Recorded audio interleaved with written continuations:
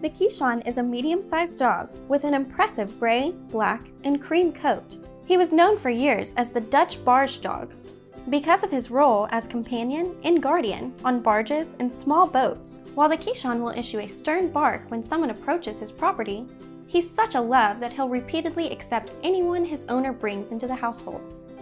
In truth, Keeshonds aren't very effective guard dogs. The Keeshond is a fan of cool weather.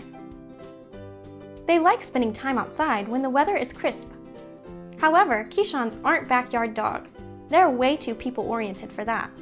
A Keeshond needs to live inside with their families and participate in all daily activities. The Keeshond loves children and plays nicely with them. The Keeshond also gets along well with other dogs and pets if they are introduced to them at a young age. Keeshonds, though rare, make great family pets. Do you think a Keeshond puppy would be right for you?